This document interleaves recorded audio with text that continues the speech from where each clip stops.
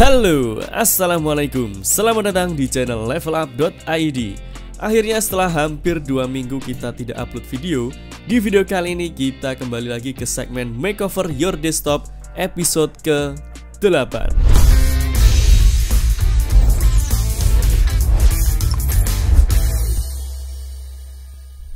Sebelumnya buat kalian yang belum menonton episode yang pertama sampai episode yang 7 Kalian bisa tonton playlistnya di atas ini Atau kalian juga bisa lihat di website levelupid.net di sana kalian bisa lihat galeri makeover your desktop untuk Windows 10 dan Windows 11 dan kalian tinggal pilih mana makeover your desktop yang ingin kalian terapkan di laptop atau di PC kalian. Dan seperti biasanya buat teman-teman yang baru pertama kali menonton video di channel ini, kalian bisa cek video-video di channel levelup.id kalau kalian tertarik. Silahkan pencet tombol subscribe dan aktifkan loncengnya agar kalian tidak ketinggalan video-video yang keren selanjutnya. Dan sekarang kita langsung mulai tutorialnya. Buat kalian yang sedang mencari lisensi dari Windows 10 ataupun aplikasi lainnya dengan harga yang cukup terjangkau, kalian bisa coba beli dari cdgoffer.com. Kalian tinggal cari lisensi apa yang ingin kalian beli, kemudian kalian tinggal pilih produk mana yang akan kalian beli teman-teman. Misal kalian ingin membeli lisensi dari Windows 10 Pro, kalian tinggal pilih yang Windows 10 Pro. Kemudian kalian tinggal pilih Buy Now. Setelah itu kalian tinggal login dengan menggunakan akun Facebook atau akun Google kalian. Lalu setelah login kalian tinggal pilih buy now lagi. Kemudian jangan lupa kalian masukkan kode kupon UP20 Lalu kalian pilih apply untuk mendapatkan diskon sebesar 25% dari levelup.id Setelah itu kalian tinggal pilih submit order. Kemudian kalian tinggal pilih metode pembayaran yang akan kalian gunakan. Apakah menggunakan Paypal, Visa, Fasterpay, Mint, ataupun Bitcoin. Setelah kalian selesaikan pembayaran kalian tinggal pilih akun kalian Kemudian kalian pilih yang My Purchase Order. Setelah itu kalian tinggal pilih View Key Codes. Maka sekarang kalian sudah mendapatkan lisensi dari Windows 10 yang sudah kalian beli tadi.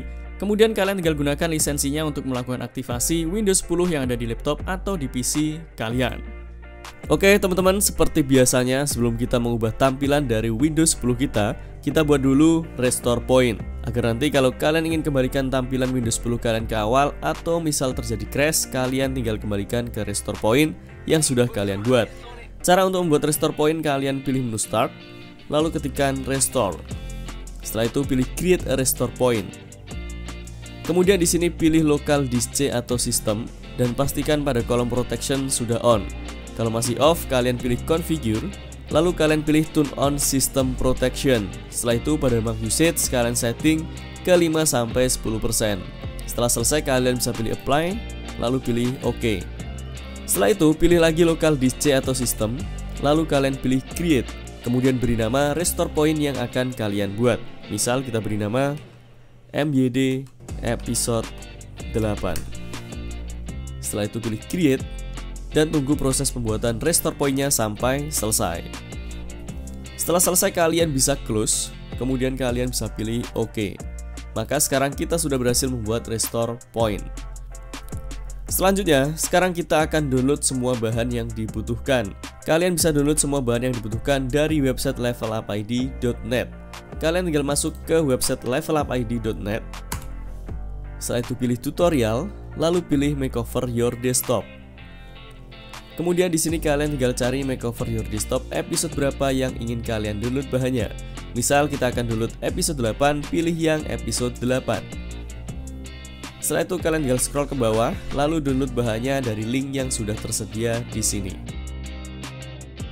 Kemudian silahkan kalian ekstrak bahan yang sudah kalian download.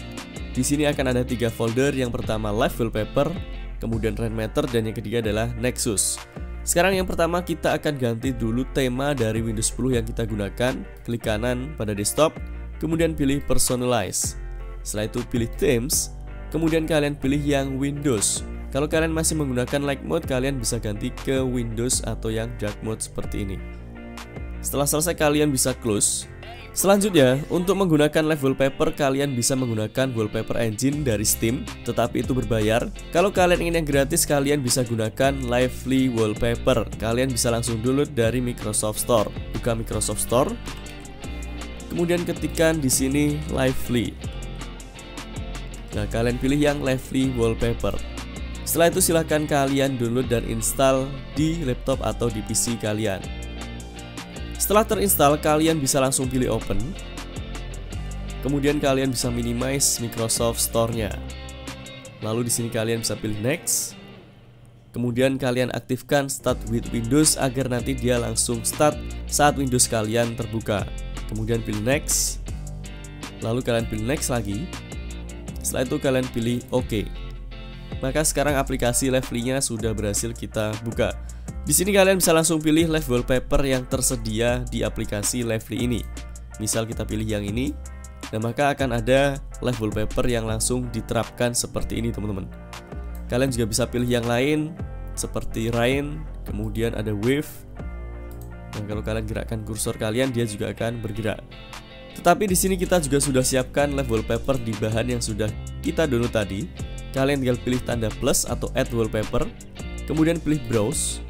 Setelah itu kalian masuk ke folder bahan yang sudah kalian download, lalu masuk ke folder nomor satu live wallpaper. Kemudian di sini ada dua level paper yang sudah kita siapkan. Kalian bisa pilih yang pertama atau yang kedua. Misal kita pilih yang pertama, pilih yang pertama. Setelah itu pilih OK. Kemudian tunggu prosesnya. Dan setelah selesai maka level papernya akan langsung diterapkan seperti ini. Mantap. Kalau misal kalian ingin menggunakan live wallpaper yang kedua, kalian tinggal pilih add wallpaper, browse lagi. Setelah itu pilih live wallpaper yang kedua, kemudian pilih open lalu pilih OK. Tunggu prosesnya. Nah, maka sekarang live wallpapernya sudah berhasil kita ganti. Jadi silahkan sesuaikan live wallpaper mana yang ingin kalian gunakan. Di sini kita akan gunakan yang Doctor Strange karena temanya adalah Doctor Strange ya. Sebentar lagi akan rilis filmnya. Kemudian kalian bisa close aplikasi Lively-nya. Kalau misal teman-teman ingin membuka atau mengakses Lively-nya, kalian tinggal pilih Show Hidden File, lalu double klik di aplikasi Lively Wallpaper. Nah, di sini kalian bisa setting lagi live wallpaper sesuai dengan keinginan kalian. Ini kita close dulu. Selanjutnya, kita akan setting agar taskbar yang ada di bawah ini dia transparan. Caranya masuk lagi ke Microsoft Store, lalu ketikkan di sini Translucent TB. Nah, kalian pilih yang Translucent TB. Selanjutnya silahkan kalian download dan install aplikasi Translucent TB-nya. Pilih Get, lalu tunggu proses download dan installnya. Setelah terinstall kalian bisa pilih open. Kemudian pilih continue. Maka sekarang taskbar kalian akan langsung transparan seperti ini teman-teman. Mantap. Setelah itu kalian bisa close Microsoft Store-nya. Kemudian kalau misal kalian ingin setting translucent TB nya kalian pilih show hidden icon Kemudian kalian bisa klik kanan pada translucent TB Di sini kalian bisa pilih desktop Kemudian kalian bisa pilih temanya apakah yang clear seperti ini Kemudian akrilik, blur, opaque atau yang normal. Misal kita pilih yang akrilik. Nah, dia akan ada efek akriliknya seperti ini, teman-teman. Tapi kalau misal kalian ingin setting transparan, kalian bisa pilih yang clear. Di sini kita akan setting yang clear agar terlihat full screen atau lebih transparan seperti ini. Selanjutnya, sekarang kita akan mulai untuk menambahkan beberapa widget dengan menggunakan Rainmaker. Masuk ke folder bahan yang sudah kalian download. Setelah itu masuk ke folder nomor 2 yang Rainmaker. Kemudian di sini silahkan kalian install Rainmaker-nya, double klik di Rainmaker, lalu pilih OK, kemudian pilih yang standard installation, kemudian pilih next, pilih install, lalu pilih yes. Setelah selesai kalian bisa pilih finish, kemudian akan langsung ada widget Rainmaker yang tampil seperti ini. Kita akan hilangkan dulu widgetnya, klik kanan, kemudian unload skin, klik kanan unload skin. Klik kanan unload skin. Unload skin. Setelah itu kita akan install beberapa skin Rainmaker yang sudah kita siapkan. Buka folder bahan yang sudah kalian dulu tadi. Masuk ke folder skin. Setelah itu yang pertama install Lano Visualizer. Double klik hilangkan centang di bawah kemudian pilih install. Lalu lanjut lagi ke skin nomor 2 yang Reto. Double klik hilangkan centang di bawah ini kemudian pilih install. Lanjut ke skin nomor 3 yang Roland. Double klik, hilangkan centangnya ini, kemudian pilih install. Setelah terinstall tiga-tiganya kalian bisa minimize folder bahan yang sudah kalian download. Kemudian pilih show hidden icon. Lalu kalian double klik pada Rainmaker Kemudian yang pertama di sini kita akan tampilkan widget tanggal di bagian bawah sini Kalian pilih Roland Setelah itu kalian pilih date Kemudian double klik di date.ini Nah, maka akan tampil tanggal dan juga bulan tahun seperti ini. Kalian bisa letakkan sesuai dengan keinginan kalian, tetapi pada video kali ini kita akan letakkan di bagian bawah sini teman-teman. Lalu selanjutnya kita akan tampilkan widget untuk jamnya, masuk ke Reto. Setelah itu kalian pilih time and date. Lalu kalian pilih time and date ini. Setelah itu kalian bisa setting sesuaikan letaknya sesuai dengan keinginan kalian. Misal kita minimize dulu rainmeternya, kemudian kita akan taruh di sebelah kiri seperti ini. Setelah itu kita akan setting dia agar sedikit transparan, klik kanan, kemudian pilih setting.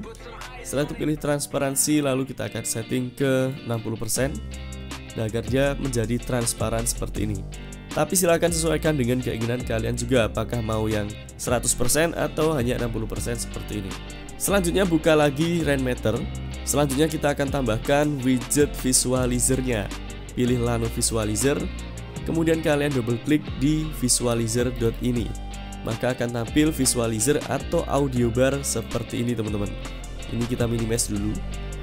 Lalu kita akan setting ukuran dan posisinya. Klik kanan di sini lalu pilih open setting. Lalu di sini yang pertama kita akan setting ukurannya, kita akan kecilkan visualizer scale-nya biar dia menjadi lebih kecil. Misal ke angka 0,3 segini teman-teman. Kemudian kalian masuk ke media player. Lalu di sini kalian bisa pilih media player mana yang kalian gunakan. Kalau misal kalian putar video atau audio dari YouTube melalui browser kalian juga bisa atau kalian bisa gunakan Spotify, Google Play, M, Fubar, dan juga aplikasi-aplikasi yang tersedia di sini. Kemudian kita masuk ke visualization, lalu kita akan setting agar visualizernya menjadi lebih pendek. Kita ganti barcode-nya, kita kecilkan. Kemudian kita posisikan dulu di sini. Kemudian bar width-nya kita akan kecilkan. Misal di angka 14 pixel. Kemudian bar gap-nya kita akan kecilkan ke angka 3 Oke segini. Kemudian kita tambah lagi barnya biar lebih banyak. Misal di angka 34 Selanjutnya kita masuk ke styling Lalu kita akan ganti warna barnya ke warna kuning Agar sama seperti warna efek dari Doctor Stringnya yang warna kuning ini. Tetapi kalian juga bisa setting sesuai dengan keinginan kalian teman-teman setelah selesai kita akan coba untuk play musik. Maka sekarang visualizernya sudah bekerja. Kalau misal di sini terlalu tinggi seperti ini, kalian bisa setting di visualization. Kemudian kalian turunkan sensitivity-nya. Nah, jadi dia tidak terlalu sensitif dengan suara. Silahkan sesuaikan dengan keinginan dan kebutuhan kalian, teman-teman. Di sini kita akan setting ke angka 20. Setelah selesai kalian bisa close. Selanjutnya, yang terakhir kita akan tambahkan AppDoc dari Nexus di bagian kanan ini. Buka folder bahan yang sudah kalian download tadi, kemudian back, lalu masuk ke folder Nexus. Setelah itu kalian copy folder icons, klik kanan, kemudian copy. Kemudian kalian paste di local disk C, klik kanan, setelah itu pilih paste. Selanjutnya, kembali lagi ke folder bahan yang sudah kalian download tadi. Kemudian masuk ke folder Nexus, Lalu silahkan kalian install aplikasi Nexusnya. Double klik, pilih yes, kemudian pilih OK, lalu pilih I accept the agreement, lalu pilih next, next, next, dan pilih install. Setelah selesai kalian bisa langsung pilih finish. Maka akan ada app dock Nexus di bagian atas ini. Kalian langsung pilih yang Nexus, kemudian pilih Advance, lalu pilih Restore.